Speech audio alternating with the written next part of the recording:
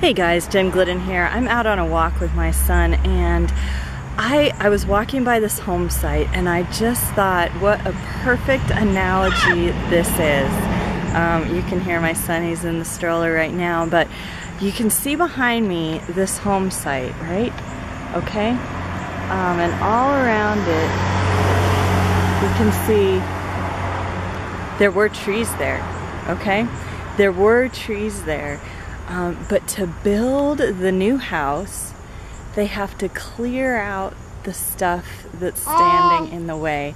And it's so similar to what goes on in our own minds when we're building our home business, when we're starting our business. There are all these beliefs, all this stuff, all this clutter taking up space in our head.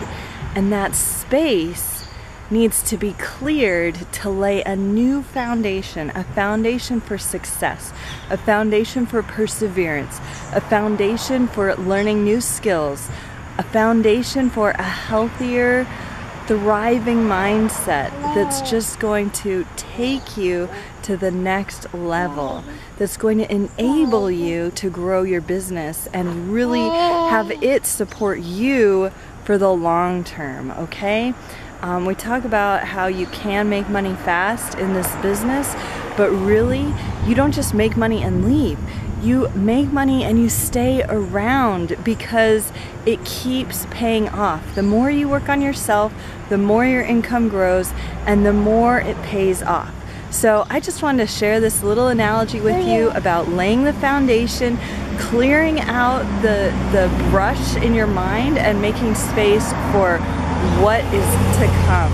So um, I'm sure as this house continues to be built, I'll have more analogies for you, more stories coming to you. Um, I've built a house for a company in the past also, and it was really, there are just so many similarities. But anyways, um, I could go on and on. I'll, I'll leave you with the thought that there is so much fertile ground in your mind. You just need to clear away the brush.